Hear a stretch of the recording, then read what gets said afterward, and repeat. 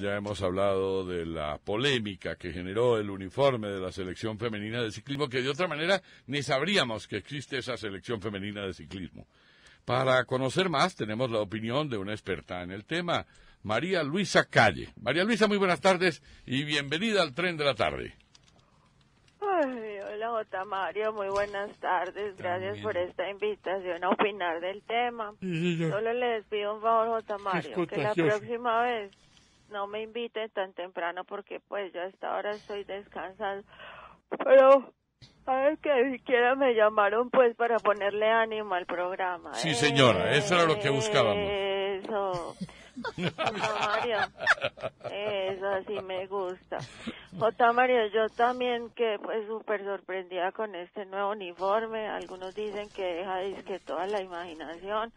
Pues yo sinceramente creo que no hay mucho por imaginar ahí. He escuchado algunas críticas de la vestimenta, muchos aseguran que, que este diseño es obsceno. Pues yo la verdad no creo que sea obsceno, eso es lo que menos le he visto yo a las niñas ahí.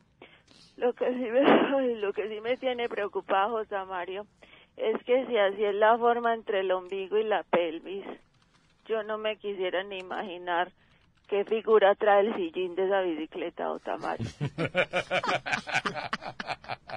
Que con eso hasta me desperté. Pero vea, nosotros debemos ser muy realistas. Lo que menos interesa es un uniforme. Lo que verdaderamente importa es que el equipo tenga buen rendimiento y sobre todas las cosas que tenga buenos resultados. Sí, señora.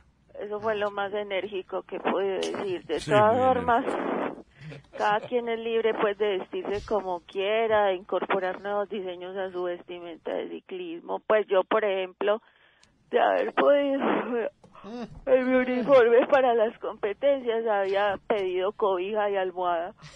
Sí, claro. O sea, Mario, a propósito, lo dejo porque me tengo que ir a descansar un ratico. Ánimo, pues, ánimo, que me gusta verlos animados. Eso.